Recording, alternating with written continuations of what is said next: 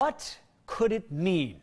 People are talking about Tom Brady's latest Instagram post, this black and white photo of Brady either walking into or out of what appears to be Gillette Stadium. There is no caption included. Of course, fans are looking for any clue to figure out if Brady will stay with the Patriots next season or play with another team.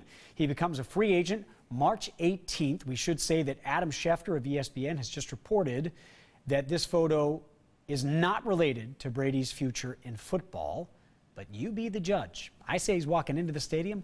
I say it means he stays. But maybe that's just wishful thinking. You're watching CBSN.